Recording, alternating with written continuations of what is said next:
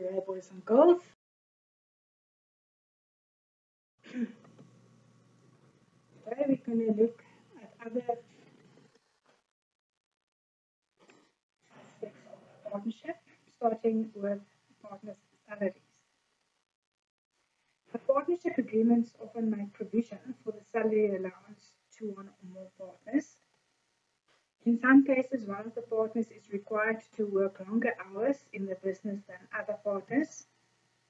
An anonymous or sleeping partner might contribute capital to the business but might not physically work at the business.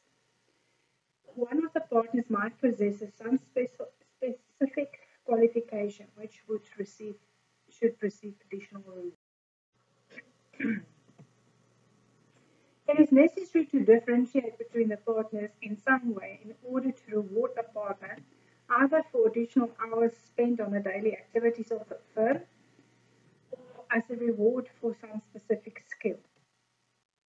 It is not practic practicable to improve the profit sharing ratio of such partners, as this would mean that they would have to bear a bigger share of the loss as well.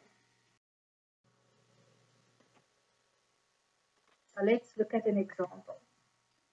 In the case of King Kong traders, partner Kong might work double the hours of partner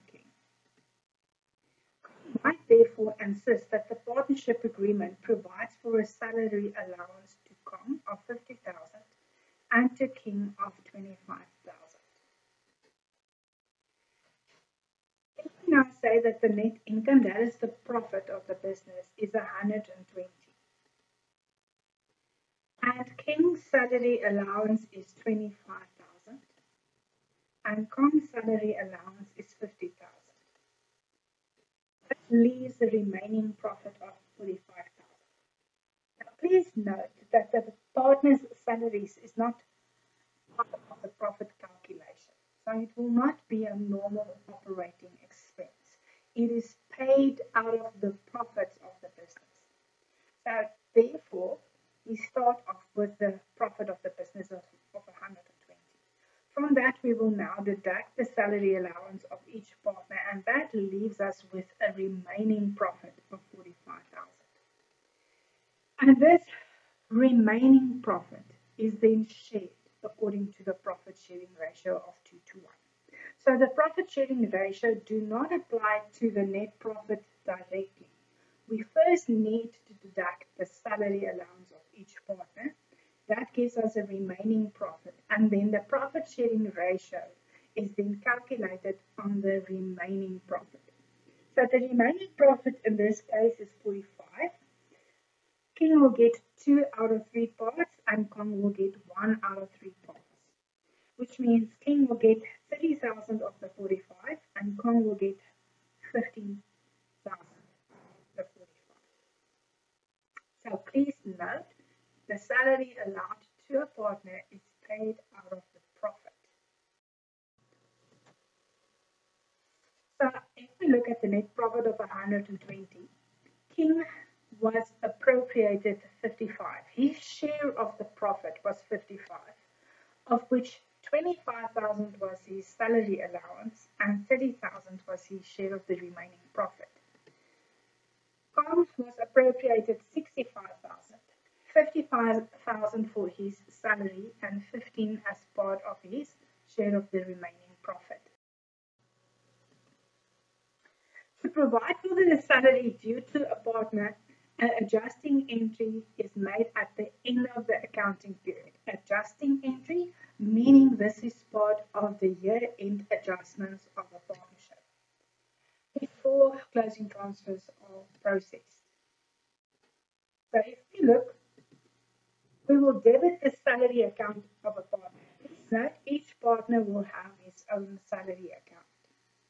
So the salary account of the partner will be de debited and the current account of the partner will be credited. Okay, so as part of the year-end adjustment, we bring into account the provision for the salaries by debiting the salary account of each partner and by crediting the current account of each partner. The partner's salaries are used as a means to arrive at a fair split of the profits between the partners.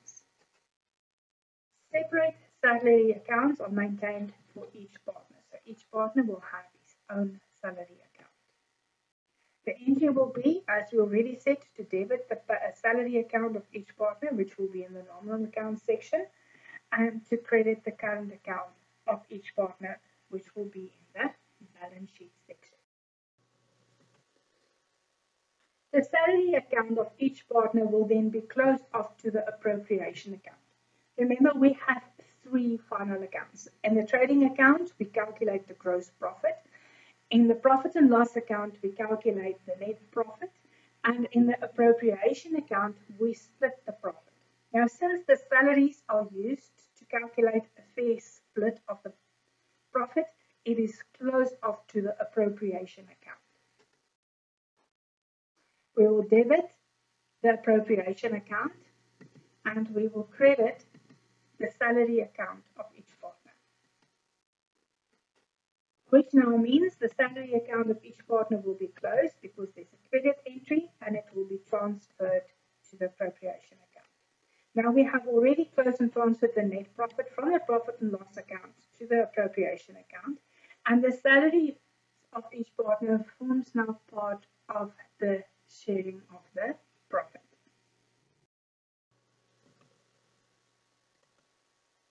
Please note that all cash withdrawals made by the partner, including monthly salaries, must be debited to the partner's drawings account. So if they take a monthly salary, it will be debited in the drawings account. Whatever the partner takes throughout the year, whatever the reason for that may be, will be debited in the drawings account. If a partner receives a monthly salary of 3000 the drawings account will be debited at the end of each month with bank 3000 This then will amount to 36,000 Rand for the year. As a year-end adjustment, we will bring this into account by debiting his salary account with 36 and by crediting his current account with 36. So the monthly salary he takes throughout the year will be debited in the account. At the end of the financial year, we will make provision for that salary by debiting the salary account and by crediting the current account. The salary account is then closed off to the appropriation account. Interest on the partner's capital accounts. Partnership agreements often provide for interest on partners' capital balances to go to the partners. This is to compensate the partners who have provided larger amounts of capital to the partnership, especially if the profit sharing ratio is not the same uh, in proportion to the capital balances.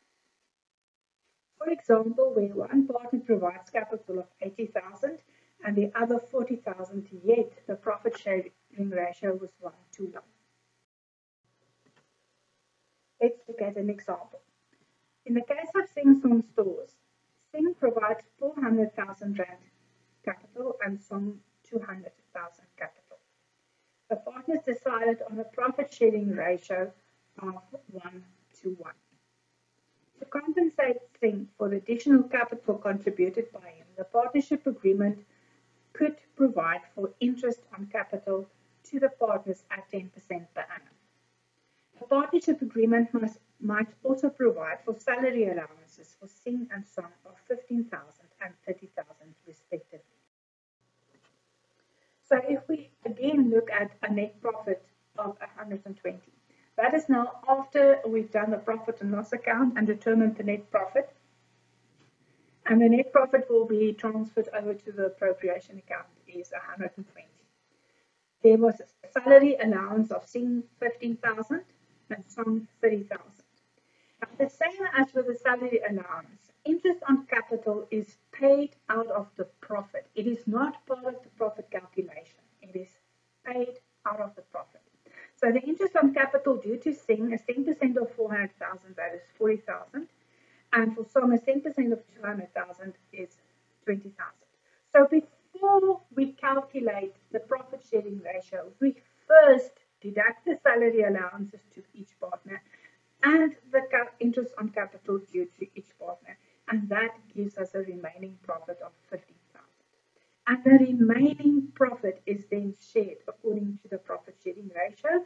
And this goes one to one, which means half half. So Sing will get 7,500 and Song will get 7,500. So please note, the profit sharing ratio is not calculated on the net profit. It is calculated on the remaining profit. How do we get the remaining profit? It's the net profit minus the salary allowance to each partner minus the interest on capital to each partner. That gives us the remaining profit and the profit sharing ratio is calculated on the remaining profit. So out of the net income of 120, Sing will get 62,500. 15,000 is his salary, 40,000 is his interest on capital, plus 7,500 as his share of the remaining profit. Song is appropriated 57,500, of which 30,000 is his salary allowance, 20,000 his interest on capital, and 7,500 as his share of the remaining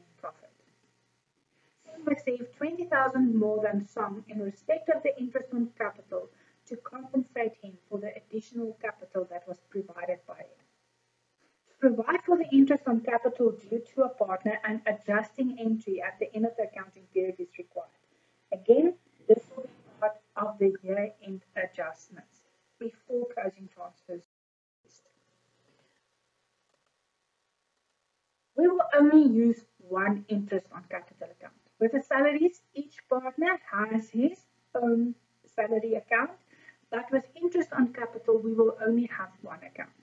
So the entry will be to debit the interest on capital with the current account SING and credit the current account uh, SING with 40,000. To debit the interest on capital account with current account SING 20,000 and to credit. So we credit the current account each partner and we debit the interest on capital account. As you can see, the interest on capital have the interest on capital for both partners on the debit side. And then each current account of the partners is then credited respectively. The interest on capital is closed and transferred to the appropriation so there's only one interest on capital account that contains entries of both partners. The interest on capital account will then be closed off as, as part of the closing transfers to the appropriation account by debiting the appropriation account and by crediting the interest on capital account. Interest on capital is together with salaries is used to means as a means to arrive at a fair split of the profits between the partners. This account must not be closed off to the profit and loss account with the normal operating expenses of the business. Other points that could be specified in the partnership agreement is a bonus that is paid to a partner for whatever reason the levying of interest on drawings. We don't deal with that in grade 11, but we do deal with a bonus, which means each partner will have a bonus account, the one that now receives a bonus. The bonus account will be debited. The current account will be credited as part of year-end adjustments, and then as a part of the closing transfers, the bonus account will be closed off to the appropriation account. Once more, the bonus will be used as a fair split of the profit. So, the adjustment, as part of year-end adjustments, we will debit the bonus of the partner and we will credit the current account of the partner and then as part of the closing transfers, we will debit the appropriation account and we will credit the bonus